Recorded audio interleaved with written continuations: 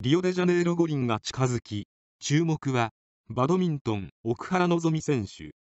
昨年12月のバドミントンスーパーシリーズファイナルで日本人史上初の女子シングルス優勝を果たした奥原希望選手が注目。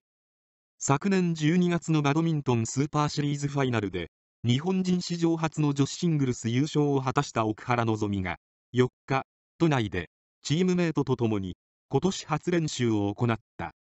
年末年始は長野県大町市の実家に帰郷。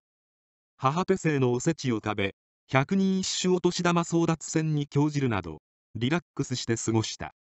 この日は休んだ分頑張らないととランニングで仲間を猛然と追い抜き気合10分。海外の選手は正月休みをしていないはず。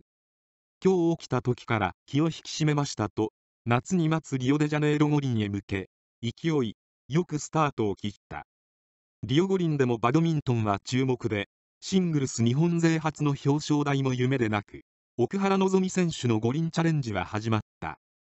2016年のリオ五輪だけでなく2020年の東京五輪での活躍も期待され注目を浴びることは間違いないだろう。そして彼女が活躍することによってより多くの選手が育っていくに違いない。その大きな道しるべになる一方負けず嫌いの奥田望選手は迷いも断ち切り真摯に歩む。さあ奥田の勝負の年が明けた。夢の一歩を温かく見守りたいものだ。